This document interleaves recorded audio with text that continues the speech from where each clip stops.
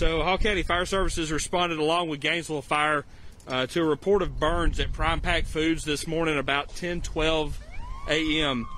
Uh, the once the units arrived, they found a large contingent of employees that had evacuated, um, and along with multiple victims that were in that crowd that were also experiencing medical emergencies.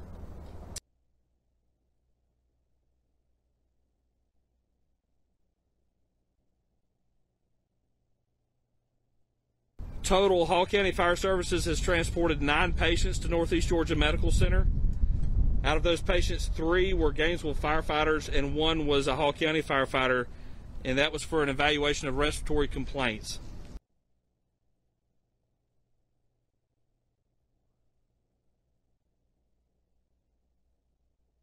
A total of 130 personnel were transported by school buses provided by the school systems here locally to Free Chapel Church for evaluation by medical personnel from North Northeast Georgia Health Systems.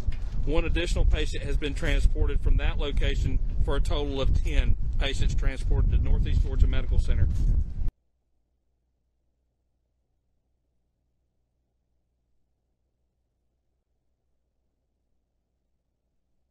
The product in question that was involved in this incident has been confirmed to be liquid nitrogen. No explosion has occurred. That has been reported uh, erroneously in social media, but uh, it was a leak of unknown cause that has occurred in the system here.